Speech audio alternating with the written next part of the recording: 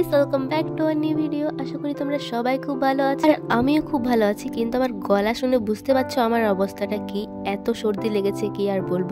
তো যাই হোক, এখন আমি রেডি হয়ে গেছি আর আমি আজকে যাব রানীর সাথে দেখা করতে, কারণ রানী এসছে বাঁকুড়াতে অনেক দিন হয়ে গেছে। আর আমাকে অনেক দিন ধরে ওর সাথে দেখা করার জন্য বলছিল, কিন্তু আমি এত ব্যস্ত গাইস বাঁকুড়া না গেলে আমার ওর সাথে দেখা হয় না। তো যেহেতু আমি বাঁকুড়া এসেছি, তো ফাইনালি ওর সাথে আমি দেখা করে তারপর বাড়ি যাব।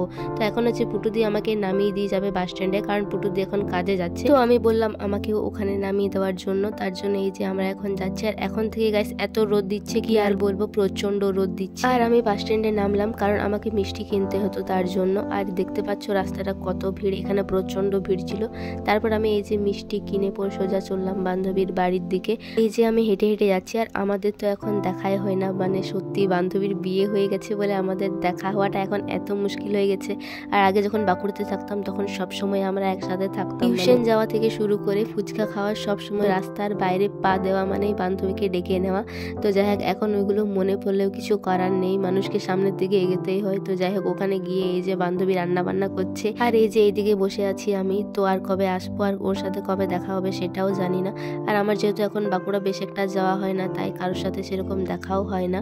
আর বাঁকুড়া যাওয়া মানে আমার এত কাজ থাকে, কি আর বলব। আর এই যে বান্ধবী রান্না করতে করতে আমার সাথে গল্প করছে। আর আজকে ও ডিম রান্না করবে, তার জন্য ওখানে আলুগুলো ভেজে তুলে রাখছে।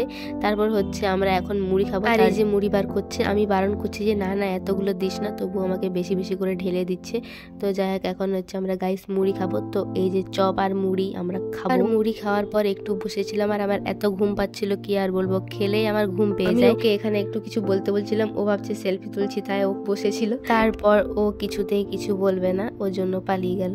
তারপর এখানে হচ্ছে আমি এখন বাড়ি যাওয়ার জন্য বেরিয়ে পড়েছি আর এত রোদ দিচ্ছে বাইরে কি আর বলব? তো আমি তাড়াতাড়ি ওখান থেকে বেরিয়ে পড়লাম কারণ এখান থেকে আমি হচ্ছে কলেজ যাব আমার কলেজের দরকার আছে। তার জন্য আমি এখান থেকে বেরিয়ে পড়েছি আর ও একটু আমাকে এগিয়ে দিতে এসছে। তারপরে এই যে আমরা দুজনে মিলে হেঁটে হেঁটে যাচ্ছি।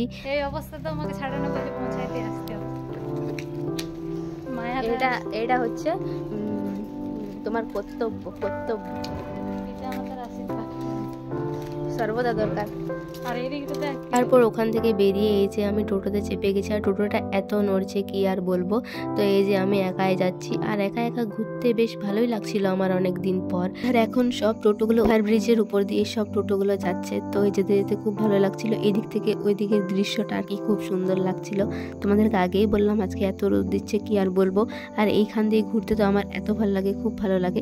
তো আমি এখান থেকে যতবার বেরোই এখানে ভিডিও করে করে যাই। আর এই ব্রিজটা যখন হয়নি, আমরা যখন নতুন কলেজে যেতাম, তখন আমরা ভাবতাম কবে এটার উপর দিয়ে যাব। আর এখন কলেজ থেকে বেরিয়ে যাওয়ার পর, এখান থেকে সব টোটোগুলো আবার ঘুরে ঘুরে যাচ্ছে। তো আজকে আমি যাচ্ছি কলেজে রেজাল্ট আনতে। আর আমাদের অনেক দিন থেকে রেজাল্ট দিচ্ছি। আমি যাব যাব করে আমার যাওয়াই হয়নি। তো যেহেতু আমি একবার বাঁকুড়া এসে গেছি, তো সব কাজ সেরে তারপর বাড়ি ফিরবো। তার জন্য এই যে আমি কলেজে পৌঁছে গেছি, আর তোমাদেরকে পুরো কলেজটা আরেকবার দেখিয়ে দিলাম আমি। আর কলেজে গিয়ে তো আমি সেরকম প্রথমে কাউকে দেখতেই পাইনি, তো আমি একা একাই ঘুরছিলাম। তার কিছুক্ষণ পর কিছু বান্ধবীর সাথে আমার দেখা হয়। তারপর এই যে আমাদের লাইব্রেরি কার্ড যেটা না দেখালে আমাদের রেজাল্ট দেবে না। তারপর আমার রেজাল্ট তোলা হয়ে যায় আর এখন হচ্ছে আমি গাইস বাড়ি যাচ্ছি। আর এখান থেকে আমি সোজা চলে যাই জেঠিমাদের ওখানে। আর ওখানে গিয়ে আমি ফ্রেশ হয়ে পরে যে খেতে বসে গেছি।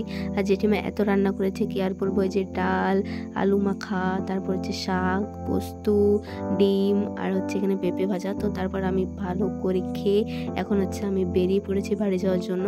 তো এই ব্লগটা এই পর্যন্তই। দেখা হচ্ছে নেক্সট ব্লগে বাই